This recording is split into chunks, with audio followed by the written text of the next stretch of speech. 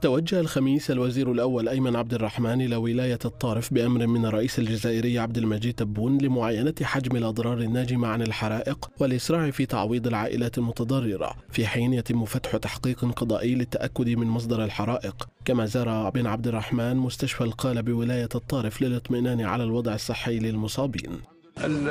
سوف نكون بجانب كل العائلات التي عرفت خسائر بشرية ونؤكد لهم على وقوف الدولة بجانبهم بكل امكانياتها إن شاء الله. هذا وتسخر الدولة الجزائرية كافة الإمكانيات المادية والبشرية لإخماد الحرائق حيث تم السيطرة على العشرات منها حتى الآن. تجدر الإشارة إلى أن حصيلة أضرار الحرائق التي اندلعت في الجزائر هذا الصيف منخفضة مقارنة بحرائق صيف 2021 التي وصفت بالأكبر في تاريخ البلاد والتي تسببت في وفاة 103 أشخاص إلى جانب خسائر مادية ضخمة فضلا عن إتلاف نحو 100 ألف هكتار من الغابات.